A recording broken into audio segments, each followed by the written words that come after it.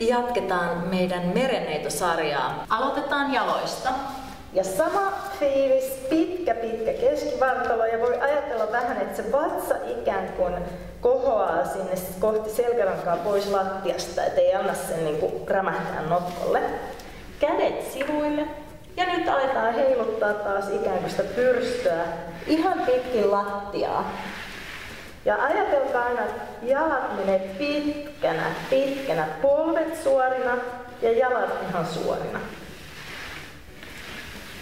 Tämän jälkeen aletaan viemään taas yksi jalka kerrallaan ja huom, ihan maata pitkin. Jos viet täältä ylhäältä, niin se on vähän eri liike.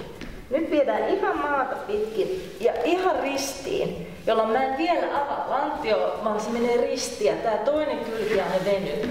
Maata myöten, maata myöten ja tää kylki venyy.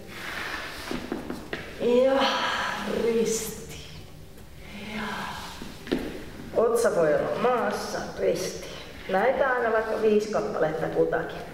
Seuraavassa vaiheessa viedään jalka suorana ja nyt se lantio kääntyy. Jalka menee niin pitkälle kuin mahdollista.